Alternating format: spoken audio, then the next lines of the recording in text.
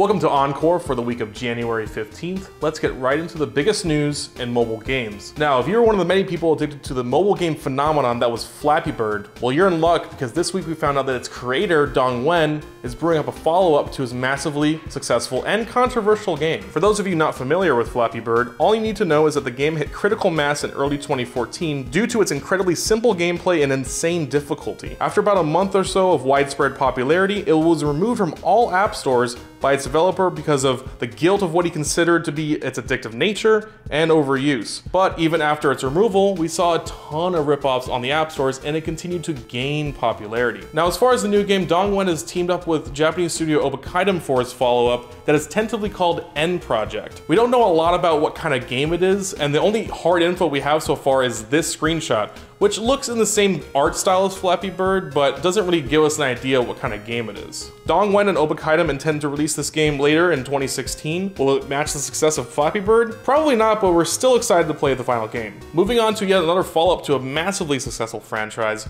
we learned this week that the studio behind Clash of Clans is working on a digital card game called Clash Royale. This game combines elements from collectible card games like Hearthstone and MOBA games like Dota 2 and League of Legends with an arena-style head-to-head format. If you're a fan of Clash of Clans, the game's presentation will feel similar as it's set in the same universe with familiar faces and graphic style. Clash Royale has already been released in regions like Canada and Hong Kong, which means a US release is just over the horizon. Will we get another Super Bowl commercial starring Liam Neeson?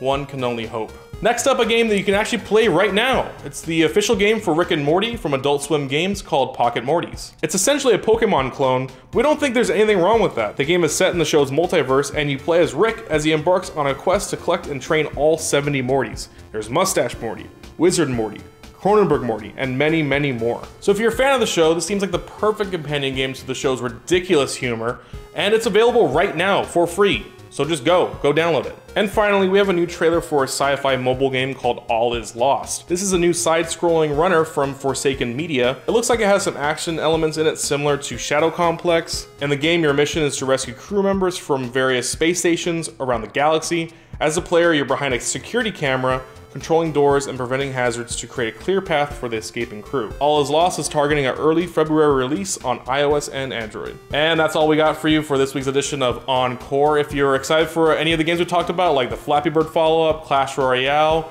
if you're playing the Rick and Morty game, you should comment below and let us know, and uh, we'll see you next time.